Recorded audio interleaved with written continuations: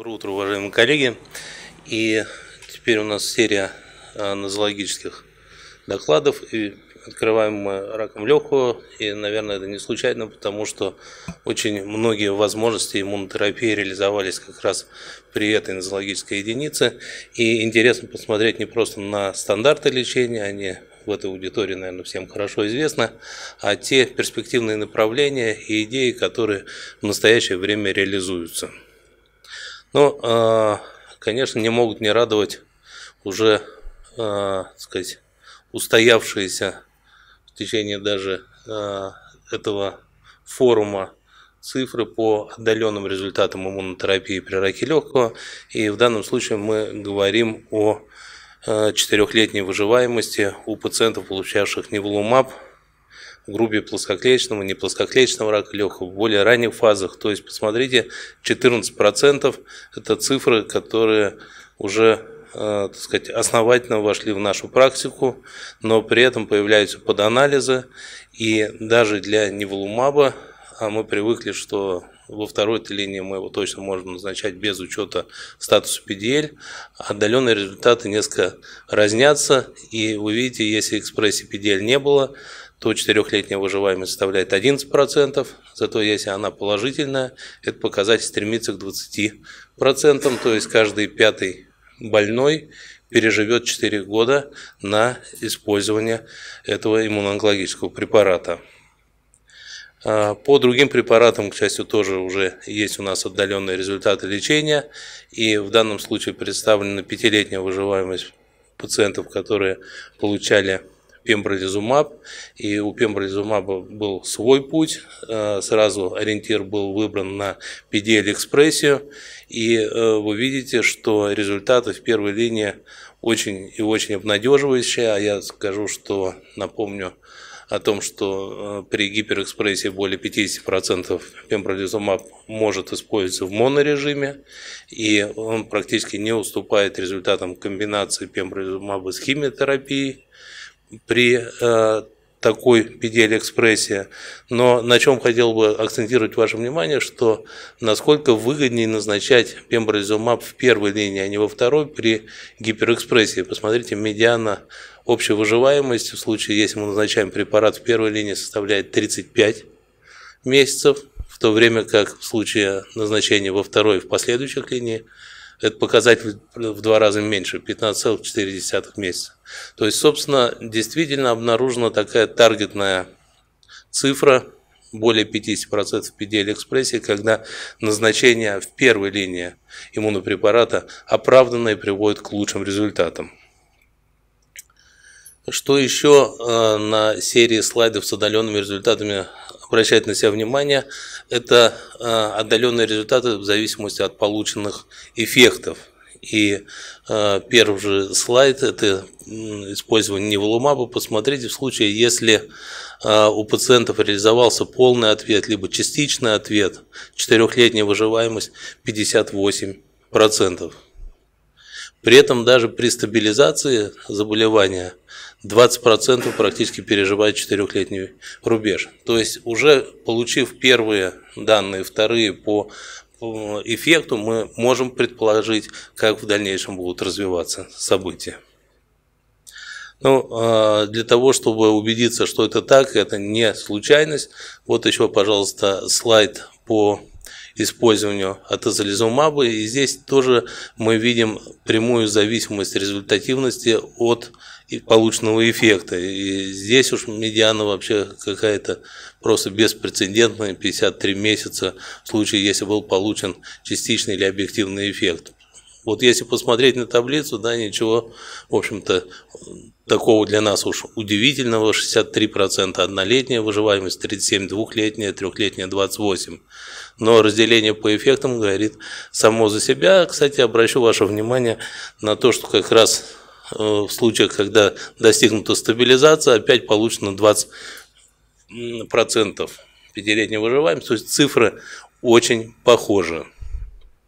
Здесь представлены э, регистрационные значение для препаратов, и то, что находится ниже линии, это то, что зарегистрировано в Российской Федерации, и это во второй линии и неволумаб, и атезолизумаб без учета PDL, экспрессии пембролизумаб, PDL положительных больных. В первой линии на сегодня мы имеем возможность использования э, в монорежиме пембролизумаба в случае гиперэкспрессии более 50%, и также комбинации э, иммунной химиотерапии при экспрессии менее 50%.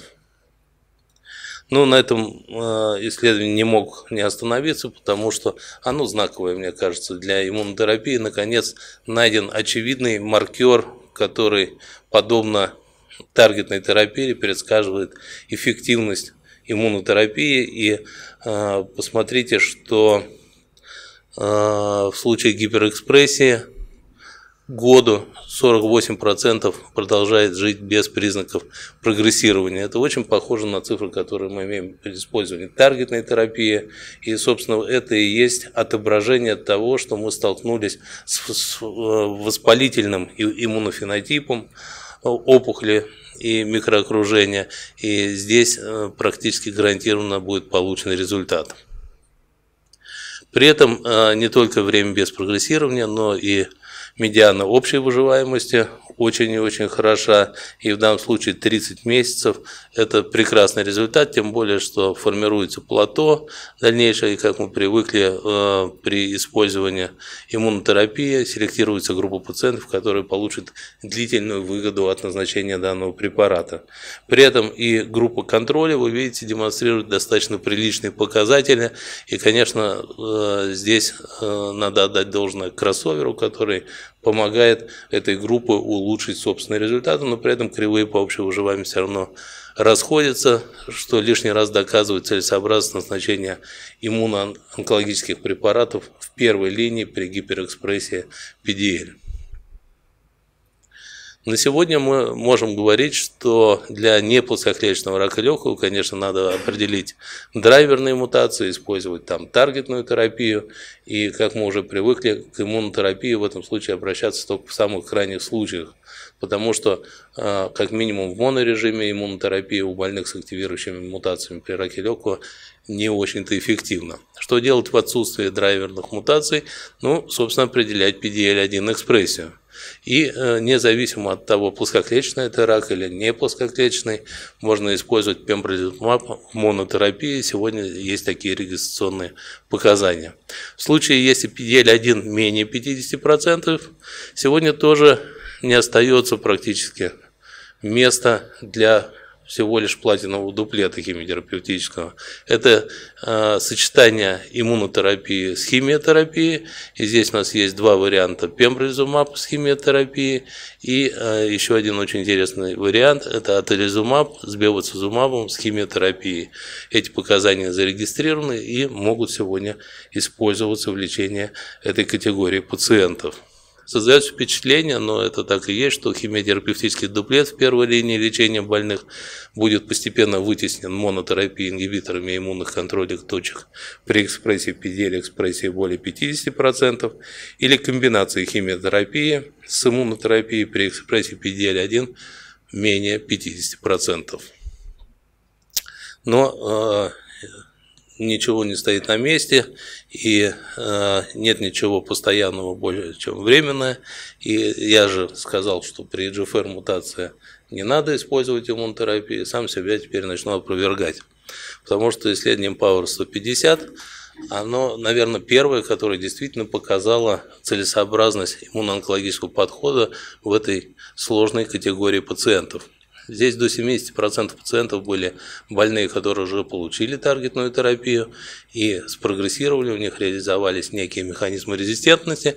И посмотрите, вот такая комбинация тезолизумаба, биоцизумаба с химиотерапией оказалась очень и очень эффективна у этой категории пациентов. Но что мы знаем про преодоление механизмов резистентности у больных на ингибиторах тирозинкиназы. Это, конечно, использование асимертиниба в случае, если мы находим мутацию 790.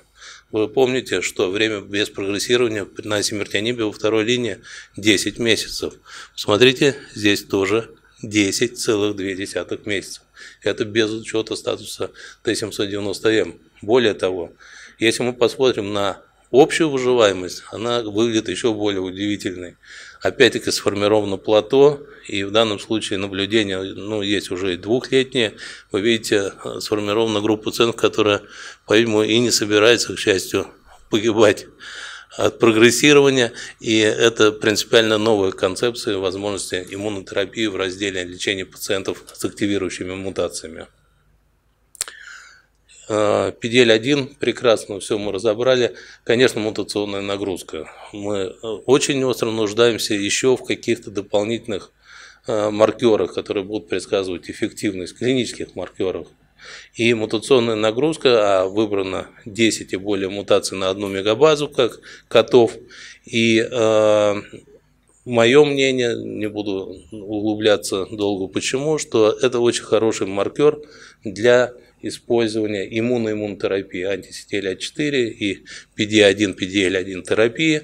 Здесь, по-видимому, мутационная нагрузка сыграет, и что оказалось удивительно, или не может даже не радовать, что это совершенно не связано со статусом PDL. Это два разных маркера, которые на сегодня, по-видимому, у нас есть в руках, их надо просто рационально использовать. И посмотрите э, средний слайд. Однолетнее время без прогрессирования, если мы использовали э, сочетание э, неволумаба с эпилимумабом составляет 42%, при том, что это положительные по петели экспрессии больные. Следующая картинка, педель 1 отрицательный, опять та же самая схема и показатель 45%. В данном случае именно высокая мутационная нагрузка была тем предиктором эффективности, на который можно было ориентироваться, а отнюдь не экспрессия PDL-1. Ну, новым трендом, конечно, является движение иммунотерапии в сторону локализованных форм рака легкого, операбельных форм. И э, серия исследований очень убедительных э, по неадювантной терапии, которая показала высокую частоту большого морфологического ответа. Случай, когда остаются жизнеспособными менее 10% опухолевых клеток. И это тот самый вариант, который ассоциирован действительно с лучшими отдаленными результатами лечения и возможностью перевода а, неоперабельных состояний в операбельные, либо а, касается вопросов уменьшения объема резекции легочной паренхимы. И вот а, при использовании в монорежиме атозализумаба частота большого морфологического ответа почти 20%. И еще, посмотрите, более 50% эффект у каждого второго. То есть это очень выраженные ответы. Что происходит еще? А, здесь а, посмотрите сочетание неволумаба с химиотерапией и цифры просто потрясают воображение, когда вообще встает вопрос, а, нужна ли хирургия. И начал бы я вот с того, что 70% полных патологических ответов это ну, недостижимая вещь, это всего два курса химии иммунотерапии. А если мы говорим о большом морфологическом ответе, это 82, почти 83%. То есть результаты, э, которые еще надо осмыслить и понять, как правильно их приложить к реальной клинической практике. Ну, э, возможность использования, опять-таки, иммуноиммунотерапии, и здесь использование невлумаба против невлумаб с эпилимумабом, это тоже речь идет о неадювантной терапии. И э, результаты для э, монорежима неволумаба получены идентичные, как и при атезолизумабе, 19%. Большой морфологический ответ вместе с полным регрессом. Но посмотрите, что происходит при сочетании антисетеля 4 антипедия-1 терапии, 44% Э, полного большого морфологического ответа, причем 38% из них приходится на полный морфологический ответ. В общем, результаты и э, доказывают правильную стратегию и огромное желание продолжать двигаться в этом направлении. Мы с удовольствием работаем во всех э, возможных клинических протоколах, видим такие результаты, общаемся с нашими морфологами, они ничего подобного тоже не видели. И главное, что меняется идеология. Сегодня не важно посмотреть эм, степень патоморфоза. Важно посмотреть то, что осталось жизнеспособным, оценить, понять, почему это жизнеспособно, посмотреть микроокружение и сформировать дальнейшую концепцию лечения. Здесь объединенные данные, о которых я уже говорил. И, э, конечно, направление, от которого нельзя уйти, и может быть не только неадъювантная иммунотерапия или с химиотерапией, а может быть еще и с лучевой терапией будет использоваться, и это увеличит частоту полных эффектов, может быть до 100%, не знаю. Но есть все предпосылки, потому что лучевая терапия увеличивает антиген-презентацию, она увеличивает педель экспрессию на опухолевых клетках, и это все является хорошим поводом для назначения иммунотерапии, что, собственно, и было реализовано как раз а, в поддерживающей терапии после окончания химиолучевой терапии. А, и два исследования здесь проведено, одно с пембролизумабом, одно с дурвалумабом. А, дурвалумаб э, история несколько более ранняя, и мы уже даже в России ждем в ближайшее время регистрацию этого показания, а повод для этого есть. Посмотрите, время без прогрессирования в случае назначения иммуноонкологических препаратов колеблется где-то на уровне 17 месяцев, в то время как э, группа, которая получала плацебо, показатель в три раза меньше. Это э, фантастические результаты для сегодняшнего времени, когда исследовательский препарат в три раза улучшает результаты контрольной группы. И, конечно, это очень важно, тем более в контексте полученных свежих результатов САСКО по уже трехлетней выживаемости. Посмотрите, 57% переживают трехлетний срок наблюдения, и это очень важно, поскольку опять-таки формируется плато, и я здесь приблизительно посмотрел на 4 года, как раз будет достигнута медиана. То есть каждый э, второй пациент на химиолучевой терапии переживет 4 года. Это прямые уже конкуренции с цифрами, которые могут представить хирурги при операциях третьей А стадии.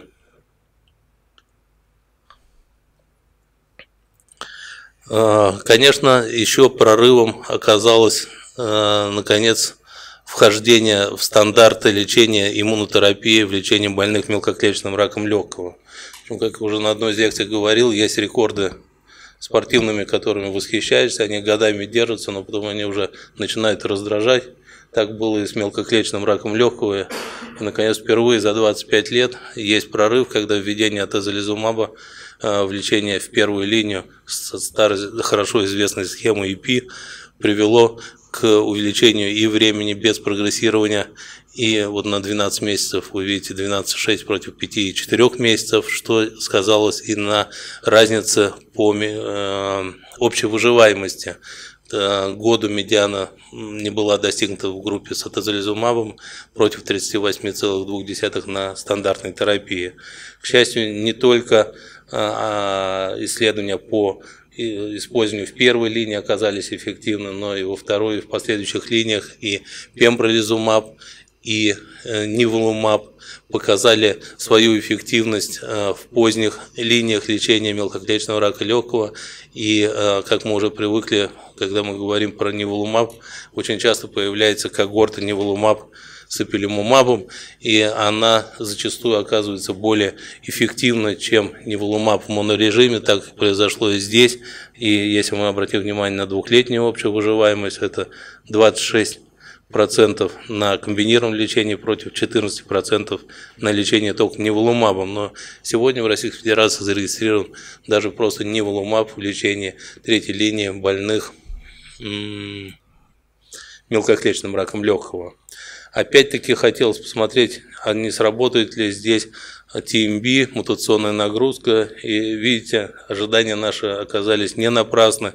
Даже для одного неволумаба были преимущества в группе, а, где мутационная нагрузка была высокая, но это вообще стало очень ярко видно при использовании неволумаба с пилимумабом, и однолетняя выживаемость при высокой мутационной нагрузке составила 62,4%. Фантастические цифры. Безусловно, очень хочется получить эту возможность проведения анализа на мутационную нагрузку и в Российской Федерации.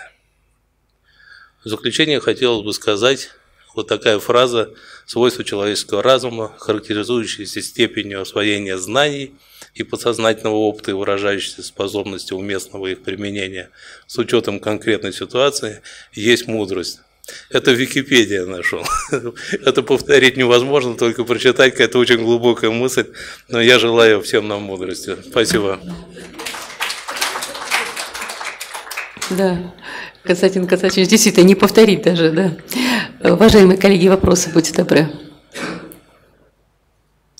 Константин Константинович, ну публика пока у нас, э, у нас коллеги думают, скажите, пожалуйста, ваше мнение все-таки вот на фоне современной терапии, нужно ли делать повторные биопсии для того, чтобы оценить эффект, для того, чтобы посмотреть, что там делается с опухолью?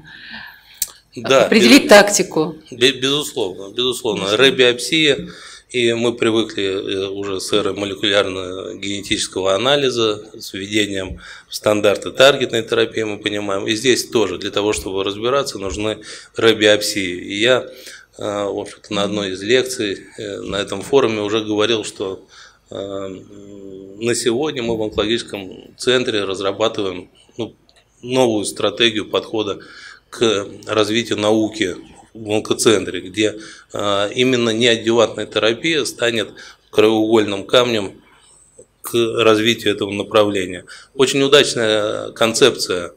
Если вы получаете достаточный материал до начала лечения, вы проходите короткий курс Угу. Вы получаете или не получаете эффект, вы оперируете пациента, вы имеете большой опухолевый материал после операции, и вот сопоставление этих изменений э, до начала лечения, после, с эффектом, это то, что может сдвинуть наше понимание в этом аспекте, этим надо очень активно заниматься. И еще раз, я говорю, мы не то раньше смотрели, морфологи смотрели, а какой патоморфоз, сколько некроза, надо смотреть, сколько осталось, почему осталось, что это за клон. И главное, что наверняка оставшиеся проявления тоже надо удалять, потому что это как раз и будет э, то, что даст э, резистентность, и это распространится по организму.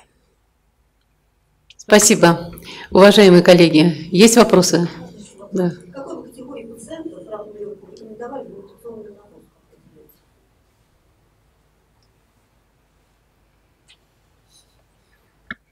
Педель отрицательным, точно. Не, ну стандартов нет, вот так спросили, я так вот ответил. Нет, для нас тоже сейчас мутационную нагрузку определить непросто совершенно куда-то направлять. Но, а, понимаете, ну PDL-1 очень хороший маркер. Я вот, а, наконец для себя осознал, что такое а, больше 50% PDL-1 экспрессия. Э, есть, э, так сказать, микроокружение, называется иммунная э, пустыня, да, где нет инфильтрирующих лимфоцитов. Есть промежуточный вариант и воспалительный тип. И вот в воспалительном типе как раз очень много есть поводов для наличия PDL-экспрессии. Мы косвенно, увидев более 50% PDL-экспрессии, говорим о том, что это воспалительный тип микроокружения, и именно в этом случае быстрее всего PDL-1, э, антипD-1 терапия будет эффективна. Но вот что делать, когда экспрессии нет или она низкая? А именно мутационная нагрузка, она позволяет предсказать эффективность сочетания э, антисетеля 4 с антипD-1 терапии. И вот здесь, мне кажется, это очень важно. Тем более, что а, формирование иммунного ответа – это не какая-то локальная точка, это целая цепочка событий. И когда мы научимся а, разбирать всю эту цепочку событий и находить, в чем именно поломка в антиген-презентации, в пролиферации, лимфоцитов, в их трафике, в инфильтрации опухоли или только на уровне взаимодействия чекпоинтов, тогда мы сможем селектировать подходы к лечению. Они могут быть очень разнообразны, и за этим будущее. Константин Константинович, еще тогда короткий вопрос. Все-таки вот здесь э, сидят э, клинические э, наши онкологи. Всем нужно пациентам делать PDL-тестирование или нет при раке легкого? Учитывая дорогостоящие препараты, учитывая, что они сейчас, в общем-то, доступны будут? Ну, мне достаточно сложно, потому что я работаю в Москве, и у нас ситуация с обеспечением Э, достаточно приличная, э, честно говоря. Поэтому я бы для Москвы сказал всем. Но мне кажется, что это надо всем для России делать, потому что на самом деле это не так сложно. Иммуногистохимический метод, он недорогой, и, в общем, иммуногистохимически можно определять. Но те больные, у которых вот больше 50, это вообще круто. Я не видела ни одного, у кого не было эффекта длительного, недлительного, все, кто имеет высокий PDL, Знаете, они очень вот хорошо отвечают на лечение. Есть, э, на самом Можно деле... выделить больных, группу больных, которые будут отвечать на иммунотерапию. Мы как раз, может, меньше денег потратим, выделим этих больных. Да, но есть группа больных, которые наверное, гиперэкспрессия больше 80-90%. Вот там это, вот там вот больше 50 я видел все-таки без ответа, а вот больше 80 не видел. Это не столь э, частое событие. Но... представляете, выделить такого больного, найти такого? Да, полный, это вообще пол, вероятность полных эффектов высоких. Но а, потрясают э, цифры, полученные при неодевантной терапии. И вот здесь э, экономический эффект может быть очень хороший, потому что а, два курса по себестоимости, ну, еще они как-то понятны в сегодняшнем контексте, это во-первых. А потом после операции, может, им достаточно э, и стандартной химиотерапии, и дальше все будет совсем по-другому. Поэтому концепция неодевантной терапии у операбельных больных, я думаю, она очень перспективна.